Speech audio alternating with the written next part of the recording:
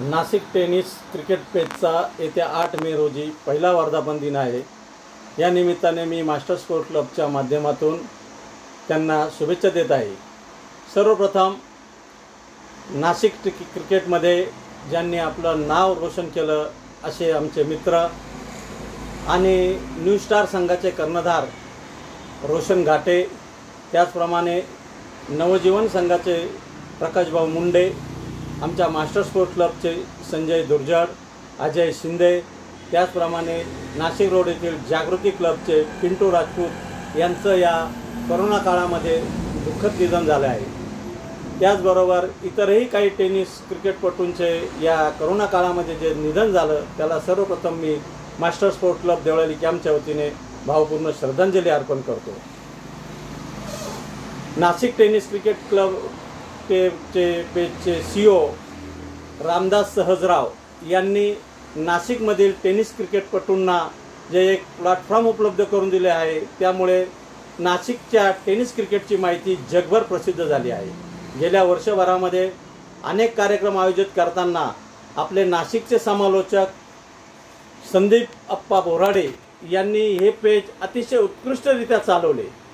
त्या माध्यमातून जुन्या क्रिकेटपटूंची जुन्या काही स्पर्धांची माहिती आजच्या युवा पिढीला मिळाली आहे.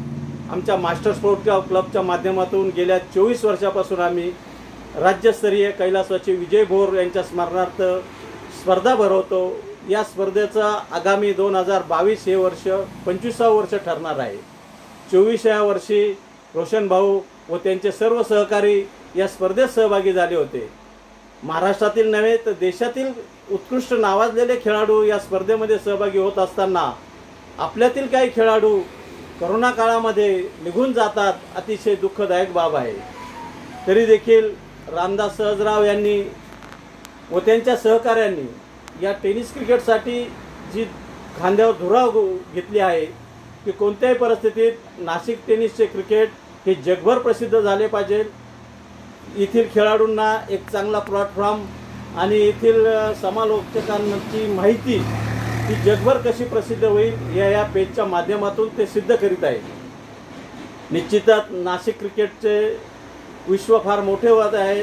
आज मुन्ना शेख सारखा खेळाडू फार मोठ्या फार मोठ्या खे स्पर्धेमध्ये आपल्या नाशिकचं नाव रोशन करीत आहेत. त्याच्यासह इतरही आधी अनेक खेळाडू आहेत की ज्यांच्या माध्यमातून नाशिकचे नाव खऱ्या